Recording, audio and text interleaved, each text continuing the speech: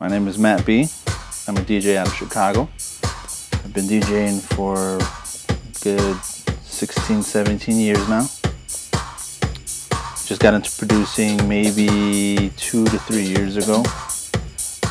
It's always been uh, something that I've, I've looked forward to doing, just haven't uh, really made it happen until now.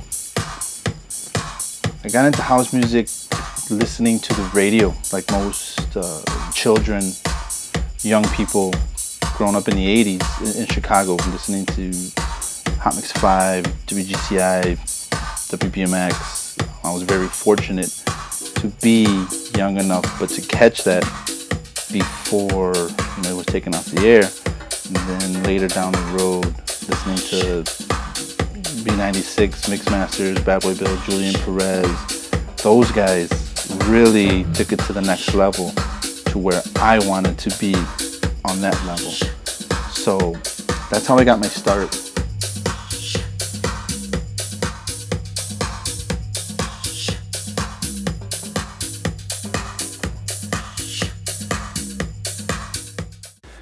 DJs and producers that have influenced me, there's the list goes on and on. But being from Chicago, Bad Boy Bill was a, major influence growing up as a kid. His his skill, his music, his selection, just everything about him, and what he did. We all tried to manipulate. We all tried to be like. We would record his his mixes every every chance we got, and uh, others would be you know Felix Da Housecat, which is a good friend of mine he's always been on, on, on another level as far as music. He's been doing electro, house, acid. He's, he's done it all. Harry Romero from New York, um, Erick Morillo. Those guys, those guys opened the doors for a different style, in my opinion, as far as house music goes. Um, another would be Oscar G out of Miami. Uh, he he gave me an experience one time when I was on vacation in Miami, and he opened my mind to a whole different sound of this darker, deeper, tribal house music that I really never experienced before.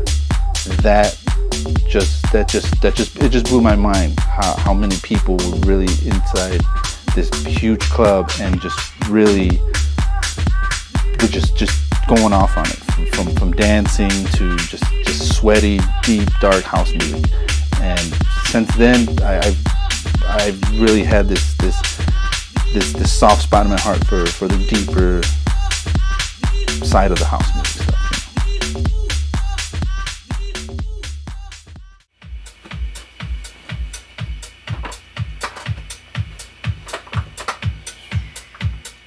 And uh, first time hearing house music, about five years old. Um, across on the radio one day, and my older sisters had the uh, had the cassette deck that they used to record mixes on, and I remember just just listening to their their mixes they would record from the weekends, and uh, it's pretty much the birth of house for me. Uh, house, you know, this this this this music uh, saved a lot of people and myself and, and included uh, from you know from the streets, from gangs, stuff like that. I grew up in a pretty rough neighborhood, and uh, you know we, we kind of shied away from that, you know, because we started DJing and um, really just just just DJing got us got, got us you know away from that, and. Um, you know, who's to say what, what, what, would have what would have been if, if it weren't for, for this stuff? As cliche as it sounds, you know, um, everybody says, oh, you know, the music uh, saved my life. Uh, a lot of times it does.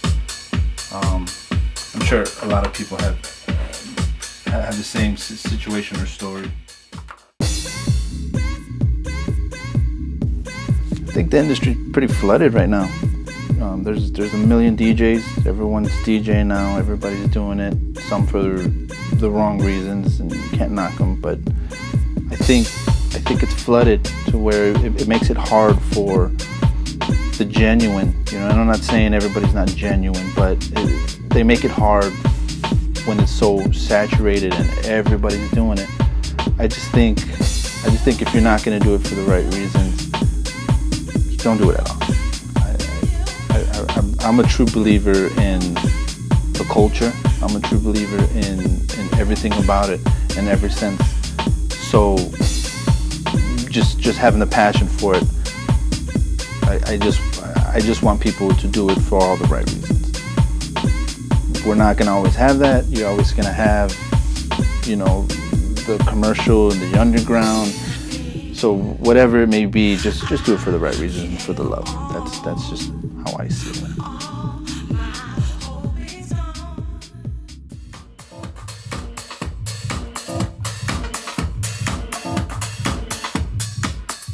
one way or another, I think you you might always remember me from either good or bad. Either you're gonna like it, or you're not. But I, I do this for for the more for the underground because I, I feel like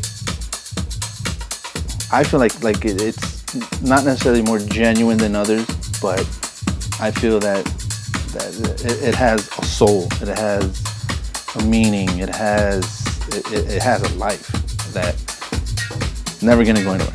You know, you're always gonna have underground, overground, or whatever you might call it. But I, I just, I hope I leave a, a good taste and a good sound in everybody's mind. You know what I mean?